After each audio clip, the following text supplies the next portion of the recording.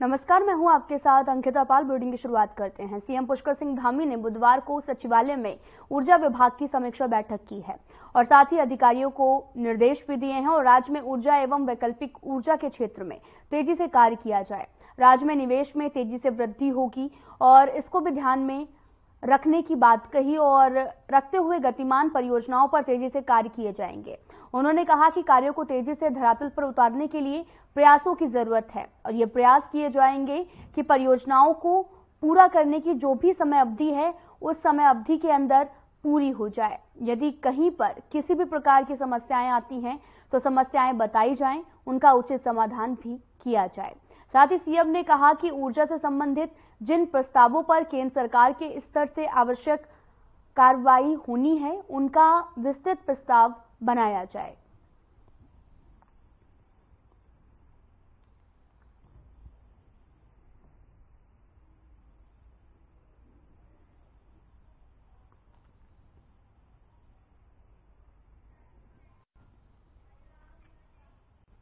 खबर देहरादून से आपको बता दें कि सीएम पुष्कर सिंह धामी ने सचिवालय से वर्चुअल माध्यम से विकसित भारत संकल्प यात्रा के तहत अल्मोड़ा जनपद के लाभार्थियों से संवाद किया है। इन्हें विकसित भारत संकल्प यात्रा के दौरान केंद्र सरकार की कई योजनाओं का लाभ मिला है।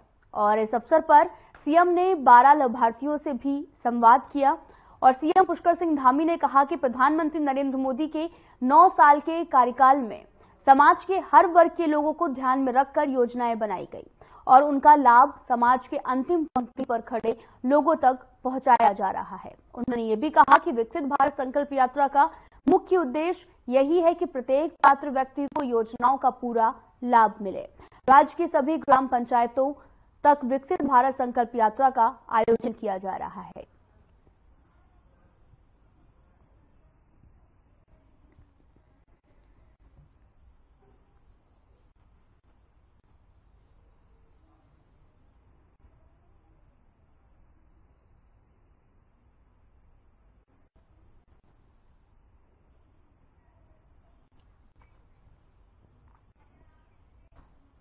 बीते दिन बीजेपी के पुरोला से विधायक दुर्गेश्वर लाल वन मंत्री सुबोध उनियाल के खिलाफ उनके आवास के बाहर धरने पर बैठे थे, जिसमें उन्होंने मंत्री पर अभद्र व्यवहार और गाली गलौज करने का आरोप भी लगाया था।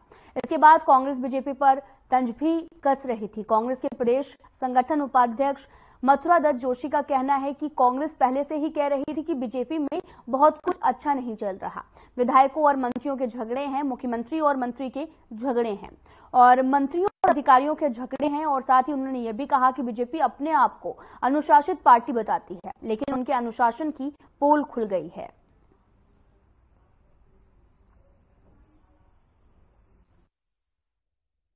कि भारतीय जनता पार्टी के अंदर बहुत कुछ अच्छा नहीं चल रहा है। मंत्रियों और विधायकों के झगड़े हैं। मंत्रियों और मुख्यमंत्री जी का झगड़ा है। मंत्रियों और अधिकारियों के झगड़े हैं। ये यदा कदा सार्वजनिक होते रहते हैं और सार्वजनिक आज भी हुए और निश्चित रूप से उससे सरकार की प्रतिष्ठा को आघात लगा है। और भाजपा जो अपने को बड़ी अनुशासित पार्टी कहती है, उस पार्टी का अनुशासन साकार होते हुए सबने देखा है। विधायक ने जिस तरीके की बातें टिप्पणी मंत्री महोदय के लिए की है और मंत्री महोदय ने जिस तरह की टिप्पणी विधायक महोदय के लिए की है, आप समझ सकते हैं कि सब कुल मिला के भाजपा में अच्छा नहीं चल रहा अंदर आने आपस की लड़ाइया हैं।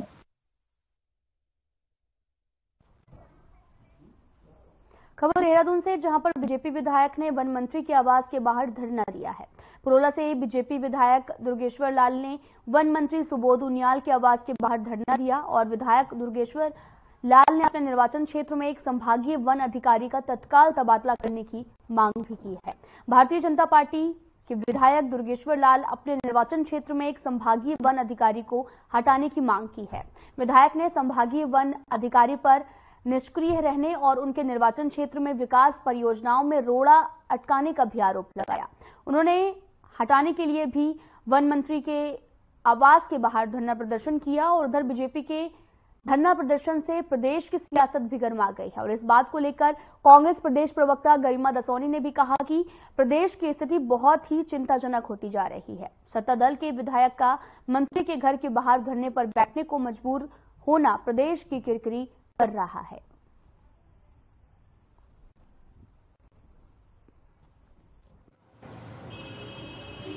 बहुत ही चिंताजनक स्थिति आज प्रदेश की होती चली जा रही है। जिस तरह से एक मंत्री और एक विधायक जो कि एक ही दल के हैं, दोनों के बीच में नूरा कुश्ती देखने को मिली और जिस तरह से विधायक को मंत्री के घर के बाहर धरने पर बैठने को मजबूर होना पड़ा, वो अपने आप में उत्तराखंड की किरकिरी करने वाला है और हम बहुत पहले से इस बात को कह रहे थे कि भाजपा में सब कुछ ठीक नहीं चल रहा है।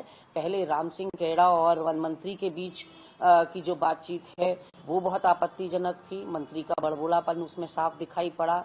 सम्मानित उच्च न्यायालय के लिए जिस तरह की अभद्र टिप्पणी उन्होंने करी, वो अभी शांत भी नहीं हुआ था मामला कि अब ये पुरोला विधायक ने उनके ऊपर जिस तरह के गंभीर आरोप लगाए हैं, जाति सूचक शब्दों से उनको संबोधित किया है और तो और उनके क्षेत्र में मनमानी मंत्री कर रहे हैं। ऐसा भाजपा विधायक का कहना है इन सब के बीच में खामियाजा जो है उत्तराखंड को भुगतना पड़ रहा है और ऐसा प्रतीत होता है कि मुख्यमंत्री का अपने मंत्रिमंडल के सदस्यों के ऊपर कोई लगाम, कोई काबू नहीं है। और इससे पहले हमने देखा कि प्रेमचंद अग्रवाल ने जिस तरह से सड़क पर गुंडों की तरह पीटा था एक कार्यकर्ता को, उसमें भी मुख्यमंत्री ने कोई रुचि नहीं दिखाई और मुख्यमंत्री ने चुप्पी साध ली। इस तरह से आँखें बंद कर लेने भर से प्रदेश की स्थिति नहीं सुधरने वाली। मुख्यमंत्री को व्यक्तिगत रूप से हस्तक्षेप करना होगा और जो कुछ भी दूरियाँ हैं या जिस तरह का भी फासले बनते चले जा रहे हैं विधायकों के और मंत्रियों के बीच में, उनको दूर करने के लिए प्रयासरत रहना होगा।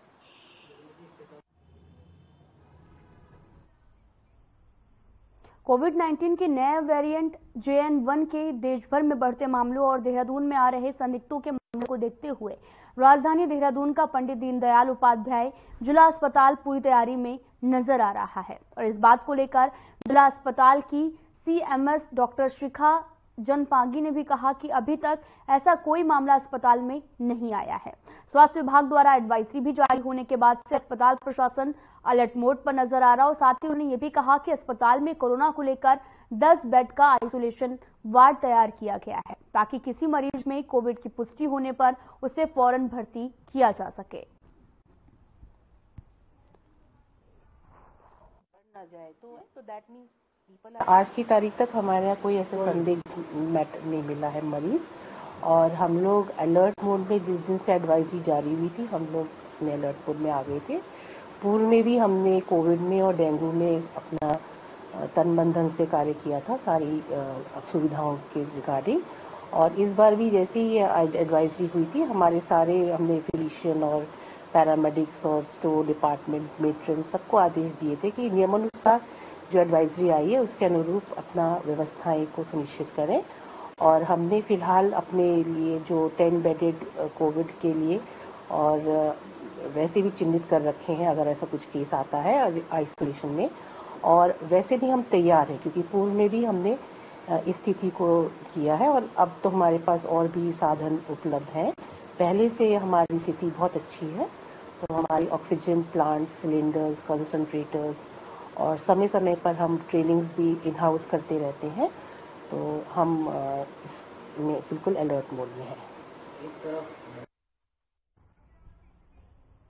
आगामी लोकसभा चुनाव 2024 में बीजेपी अपनी पूरी तैयारी में जुटी हुई है और उसको लेकर लगातार सम्मेलन और कार्यक्रम भी कर रही है। वहीं बीजेपी 2024 के लोकसभा चुनाव में इस बार 400 पार का नारा दे रही है। इसको लेकर भी कांग्रेस बीजेपी पर सवाल खड़े कर रही है। कांग्रेस के प्रदेश संगठन उपाध्यक्ष मथुरा दत्त जोशी का भी कहना है कि बीजेपी जिस प्रकार से कहती है कि 400 पार सीट लेकर आएँगे, इसमें कोई ना कोई झोल है। साथ ही मथुरा दत्त जोशी ने कहा कि बीजेपी जो घमंड कर रही है, वो ना करे, क्योंकि सभी मिलकर उसको हराने का काम करेंगे।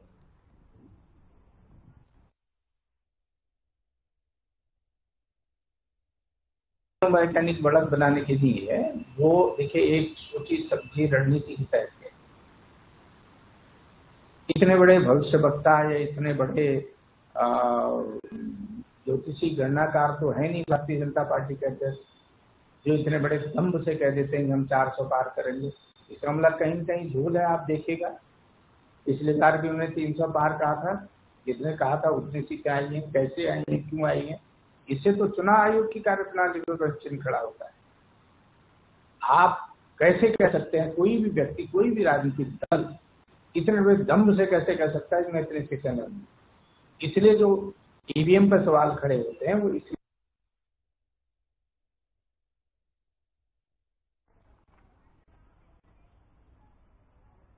देहरादून में निर्धारित तिथि के तहत आपको बता दें कि प्रायोगिक परीक्षा होगी और बोर्ड ने स्कूलों को निर्देश भी जारी किए हैं। और प्रायोगिक परीक्षा निर्धारित समय सारणी के अनुसार होगी और एक बार फिर से परीक्षा छूट जाने के बाद बोर्ड दूसरा मौका नहीं देगा। क्षेत्रीय कार्यालय ने परीक्षा को लेकर स्कूलों और छात्रों को क्या तैयारी करनी चाहिए, इसकी भी जानकारी दी है। स्कूलों के लिए बोर्ड ने भी निर्देश दिए हैं कि सभी स्कूल प्रायोगिक विषय के पाठ्यक्रम तय समय पर पूरा कर लें। लैब और परीक्षा की तैयारी भी समय से पहले पूर्ण कर लें और साथ ही छात्रों और उनके अभिभावकों को किसी प्रकार की समस्या होने पर क्षेत्रीय कार्यालय से जानकारी भी ली जा सकेगी।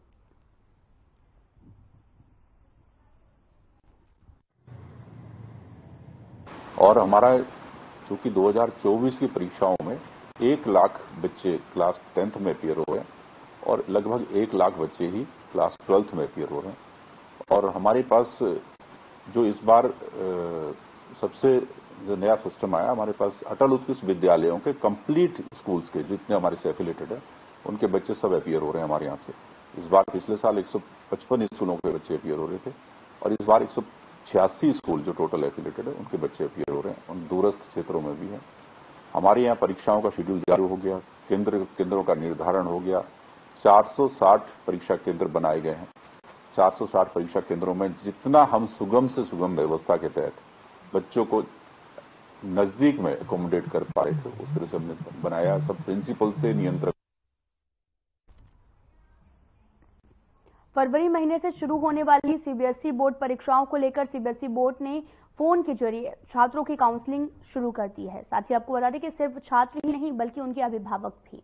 और सीबीएसई द्वारा जारी किए गए टोल फ्री नंबर पर फ़ोन करके काउंसलिंग भी आप कर सकते हैं। और इस बात को लेकर देहरादून से सीबीएसई बोर्ड के संयुक्त सचिव डॉक्टर रणवीर सिंह ने भी कहा कि हर क्षेत्रीय शाखा को निर्देश है कि जहाँ भी छात्रों को पढ़ाई से संबंधित कोई भी कठिनाई हो, उस पर काम किया जाए। और साथ ही उन्होंने ये भी कहा कि सीबीएसई के दोस्त फॉर लाइफ मोबाइल एप्लीकेशन के तिरासी विशेषज्ञों के अलावा देशभर में सीबीएसई से समृद्ध स्कूलों के 24 प्रिंसिपल काउंसलर हैं।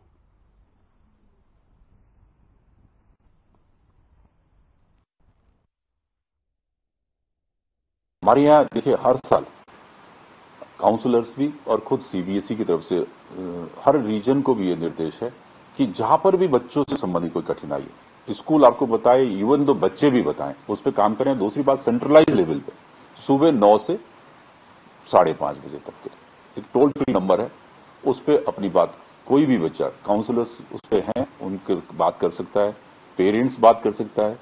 बच्चे को स्ट्रेस फ्री रखने की ज़िम्मेदारी सीबीएसई पूर्णतः लेता है। हमारे तीस हज़ार स्कूल्स हैं टोटल, जिनमें से कि 400 करीब स्कूल्स बाह्य देशों में 26 देशों में और एक बहुत अच्छी बात है कि बच्चों के प्रोत्साहन के लिए, सरकार की तरफ़ से, खासकर माननीय प्रधानमंत्री वो इतना लगाव से लगते हैं कि बच्चों की छोटी छोटी बातों में भी चिंता भी व्यक्त करते हैं और उनको प्रोत्साहित करते हैं।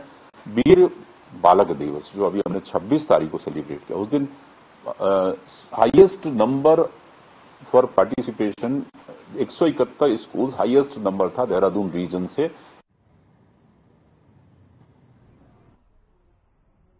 रानीखेत की चिलियानौला नगर पालिका एक बार फिर से विवादों के घेरे में है और इस बार नगर में लगाई गई स्ट्रीट लाइट को लेकर नगर पालिका चर्चाओं में है और एलईडी लाइट और अन्य सामग्री को लेकर। जिलाधिकारी अल्मोड़ा द्वारा संयुक्त मजिस्ट्रेट रानीखेत को जाँच के आदेश भी दिए गए हैं और जिसको लेकर संयुक्त मजिस्ट्रेट वरुणा अग्रवाल के द्वारा तहसीलदार की अध्यक्षता में एक जाँच कमेटी का गठन किया गया, जिसमें कोषाधिकारी रानीखेत, अपर मुख्य अधिकारी, जिला पंचायत सहायक अभियंता, छावनी परिषद रानीखेत को जाँच में शामिल किया गया। साथ ही आपको बता दें कि पहले भी नगर पालिका वित्तीय अनियमितताओं को लेकर जाँच की गई है।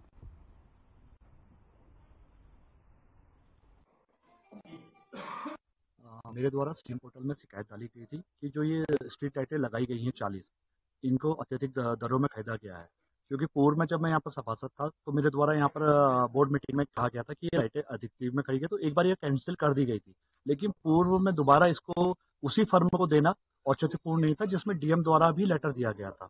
तो मेरी जब यहाँ बात नहीं सुनी गई तो मैंने सीएम पोर्टल में इसकी शिकायत डाली, जिसमें शायद जाँच चल रही है। अभी मुझे ज्ञात हुआ, मेरे को ये बताया गया था कि आप अवलोकन करने किसी भी कार्य दिवस में यहाँ पहुँच जाए। मैं जब पहुँचा तो पहले से ही इसमें किसी ने रीच याचिका दायर कर दी है जिसपे इन पर कार्रवाई हो रही है और जो अत्यधिक दरों पर खरीदी गई लाइटें बयानबे हज़ार रुपए के कुछ दरों पर एक लाइट खरीदी गई है, जो अपने आप में सोचनी है कि इतनी महँगी लाइट कहाँ से ली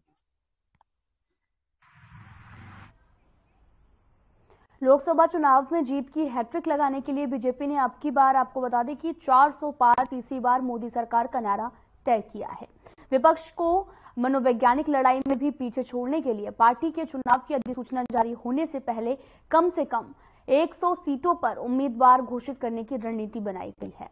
पार्टी के राष्ट्रीय अध्यक्ष जेपी नड्डा गृह मंत्री अमित शाह की उपस्थिति में मंगलवार को ये बैठक तय की गई और साथ ही लोकसभा चुनाव की अधिसूचना जारी होने से पहले कम से कम 100 सीटों पर प्रत्याशी घोषित कर दिए जाएँगे और पार्टी के हालिया विधानसभा चुनावों में ये प्रयोग भी किया था।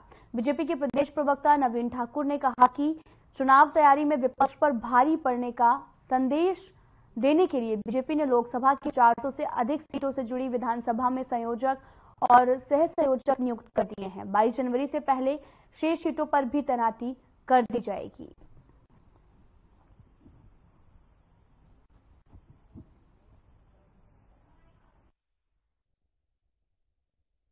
देखिए, हम 160 उन सीटों पर बहुत तेज़ी के साथ हमने फोकस किया है और आगे भी कर रहे हैं, जो हमने अब तक नहीं जीती। और 302 तो हमने पिछली बार जीती थी। तो 160 वो और 300 ही। तो निश्चित तौर पर अब की बार हम 400 पार करेंगे। और जिस प्रकार जनता का उत्साह जो जो हमने कमिटमेंट किए थे, उन कमिटमेंट से बढ़कर हमने काम किए हैं। 370 राम मंदिर जैसे मुद्दे तो पीछे छूट गए हैं। उनको तो हमने कंप्लीट कर दिया। लेकिन जो हमने वादे नहीं किए थे, उनको भी हमने पूरा किया है। हमने नहीं कहा था कि हम चालीस किलोमीटर सड़कें रोज़ाना बनाएँगे। हमने नहीं कहा था कि हम जो है डेढ़ सौ एयरपोर्ट बना देंगे। हमने नहीं कहा था कि हम जो है एक्सपोर्ट करेंगे जो आज से पहले सेना सुरक्षा का जो सामान था, उसका एक्सपोर्ट नहीं होता था, लेकिन आज हो रहा है। हमने नहीं कहा था कि हम जो है, भारत को इलेक्ट्रॉनिक का हब बना देंगे। आज से पहले जो है, मोबाइल आयात होते थे, आज हम एक्सपोर्ट कर रहे हैं। तो इन सारी चीज़ों को जो हमने नहीं कहा था, उसको भी हमने करके दिखाया है।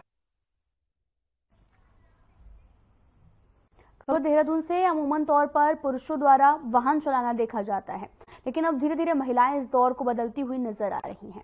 आपको बता दें कि राजधानी देहरादून के आरटीओ कार्यालय में बीते 2023 में आपको बता दें कि पहले के मुकाबले काफ़ी ज़्यादा महिलाओं द्वारा ड्राइविंग लाइसेंस बनवाने के आवेदन किए गए हैं। और इस बात को लेकर देहरादून के आरटीओ शैलेश तिवारी ने कहा कि साल 2023 में 8,500 ड्राइविंग लाइसेंस बने हैं जिनमें से 2,000 से अधिक लाइसेंस महिलाओं के हैं। साथ ही उन्होंने ये भी कहा कि परिवहन विभाग द्वारा महिलाओं को वाहन चलाने को लेकर निःशुल्क ट्रेनिंग भी दी जा रही है। और हमारा ये प्रयास है कि आगे चलकर महिलाएँ टैक्सी भी चलाएँ।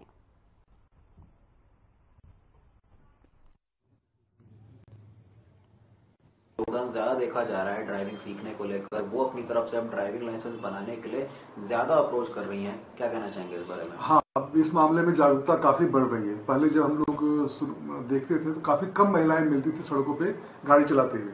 लेकिन अब महिलाएँ काफ़ी आगे निकल कर आ रही हैं। ये बहुत पॉजिटिव डेवलपमेंट हो रहा है। और देहरादून में तो महिलाओं में ड्राइविंग सीखने के प्रति जो क्रेज है, वो काफ़ी बढ़ता जा रहा है। हमारे आरटीओ ऑफ़िस देहरादून में इस साल भी 8,500 ड्राइविंग लाइसेंस अभी तक बने हैं जिनमें 2,000 से अधिक ड्राइविंग लाइसेंस महिलाओं के मेरा सुझाव है कि महिलाएँ और भी आगे आए परिवहन विभाग हमेशा तत्पर है उनको सेवा देने के लिए और परिवहन विभाग ने ट्रेनिंग का प्रोग्राम भी शुरू कर रखा है।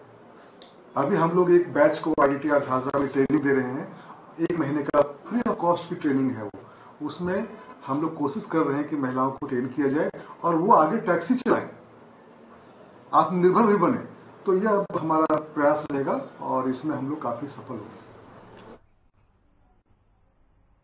खबर जनपद उधम सिंह नगर के जसपुर से है, जहाँ पर सावित्रीबाई फूले के जन्मदिन के अवसर पर प्रगतिशील महिला एकता केंद्र और प्रगतिशील भोजन माता संगठन के कार्यकर्ताओं ने एक जुलूस निकाला और उप जिलाधिकारी जसपुर को अपनी समस्याओं से संबंधित ज्ञापन भी सौंपा।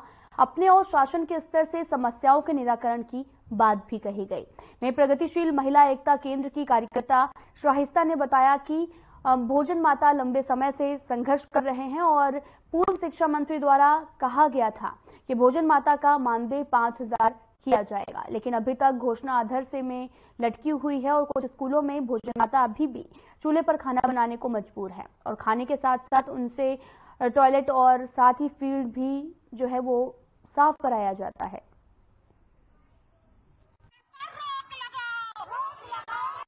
माता द्वारा जो है, अपनी कुछ सुविधाओं को लेकर यहाँ पे धरना दिया गया और एक ज्ञापन दिया गया जिसमें उनकी कुछ मांगे हैं। उसके बारे में शिक्षा विभाग से बात की जाएगी। जितना पॉसिबल है, जो अगर यदि जिला स्तर से संभव है उसको पूरा करना तो हम जिला स्तर से पूरा उसको करने के लिए प्रयास करेंगे, नहीं तो शासन स्तर पर उसको भेजा जाए भोजन माता संगठन जो है, लंबे समय से संघर्ष कर रहा है और जो है वो आज जो है अपनी मांग को लेकर यहाँ पर आया हुआ है। पूर्व शिक्षा मंत्री ने ये बात करी थी कि हम तत्काल जो है पाँच हज़ार रुपये लागू करेंगे। वो अब, वो मांग भी जो है, जो घोषणा की थी, वो भी अभी तक आधर में लटकी हुई है। फिर और स्कूलों में, बहुत सारे स्कूलों में अभी भी जो है, भोजन माताएँ जो है चूल्हे पे खाना बनाने को मजबूर हैं और उनके अलावा जो भोजन बनाने का जो उनका काम है, उसके अतिरिक्त भी उनसे काम कराया जाता है। चाहे फ़ील्ड साफ़ कराना हो, टॉयलेट साफ़ कराना हो या उसके अलावा भी बहुत सारे काम है जिसमें भोजन माताओं को लगाया जाता है। और वह यह है कि हमारी जो मुख्य मांगे हैं कि भोजन माताओं को स्थायी किया जाए और जो तत्काल जो घोषणा की गई थी, उसको जो है तत्काल लागू किया जाए, पाँच हज़ार रूपए की जो मांग थी। और दूसरी है कि हमारा न्यूनतम वेतन जो है पंद्रह हज़ार लागू किया जाए और भोजन माताओं को स्थायी किया जाए। इस समय हम जो है एसडीएम कोर्ट आए हैं। एसडीएम साहब को ज्ञापन देंगे भोजन माताओं के साथ और आज की हम यही कार्रवाई करेंगे। यूनियन उसमें एक्शन लेगी। अगर इस तरह की चीज़ें नहीं होती हैं तो बाकी हमारा जो है जगह जगह प्रदर्शन होते रहते हैं और यह अगर ऐसा होगा तो फिर आगे और दूसरी कार्रवाई करेंगे।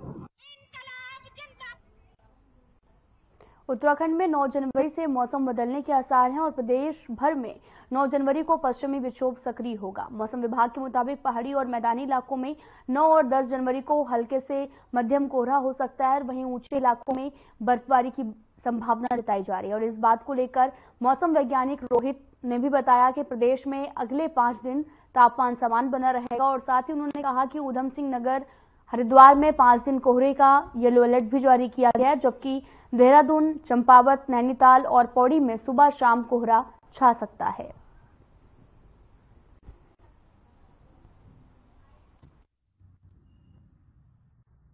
अगले पाँच दिनों में उत्तराखंड में मौसम शुष्क रहेगा। कोहरे की बात करें तो उत्तराखंड के मैदानी क्षेत्रों में जैसे कोहरा मिल रहा है तो अगले आने वाले तीन दिनों में उत्तराखंड में जो मैदानी क्षेत्र है, वहाँ पर उतले से लेकर मध्यम कोहरा छाए रहने की संभावना है। जबकि उत्तराखंड के हरिद्वार और उधम सिंह नगर जनपद है, वहाँ पर कुछ स्थानों पर घना कोहरा भी मिल सकता है। तापमान की बात करें तो अभी वर्तमान में जो अधिकतम और न्यूनतम तापमान है, वो सामान्य के आसपास चल रहे हैं, जिनमें आगे आने वाले तीन चार दिनों में ज़्यादा बदलाव की संभावना नहीं है और जो तापमान है, अधिकतम और न्यूनतम तापमान, वो सामान्य के आसपास ही बने रहेंगे। धन्यवाद।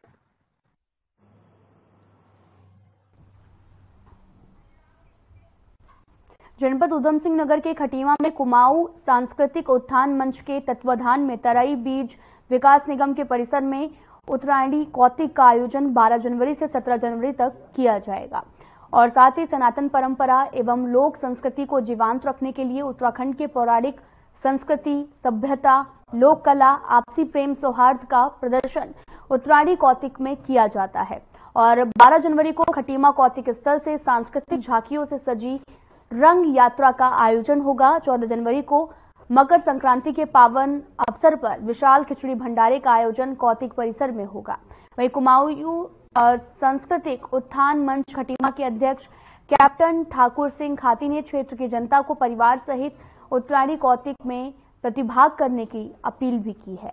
और मंच के कोषाध्यक्ष बीएस मेहता ने बताया कि विगत 24 सालों से लगातार तरई बीज विकास निगम के परिसर में उत्तरायणी कौतिक में भव्य मेले का आयोजन किया जाता है।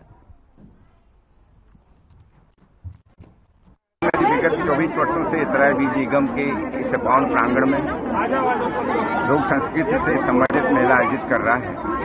यह हमारा पावन सौभाग्य है, परम सौभाग्य है कि हम उत्तराखंड की लोक संस्कृति को बहने फ़ोटो विगत 19 वर्षों से हम इस मेले का आयोजन कर रहे हैं। हमारा मेला दो तारीख आज दो जनवरी से रंगोली ऐपण सगुन आखर नींबू सानो केस सज्जा आदि कार्यक्रम से प्रारंभ होता है।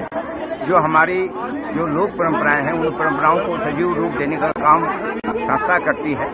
इससे हमारी संस्कृति का संरक्षण और संवर्धन होता है और आने वाली पीढ़ी को एक संदेश जाता है कि किस प्रकार से हमारे रीति रिवाज हैं, परंपराएँ हैं, किस प्रकार से हम इन रीति रिवाजों को, इन परंपराओं को संपन्न करते हैं। इसका एक सुंदर सा मैसेज इस मेले के माध्यम से हम देते हैं। 12 जनवरी से लेकर सात जनवरी तक इस बीज निगम में कुमाऊं सांस्कृतिक कुमाऊं संस्थान मंच यह मेला आयोजित कर रहा है, जिसमें बहुत सारे देश, विदेश के बहुत सारे प्रदेशों के जो व्यापारी हैं, यहाँ पर यहाँ पर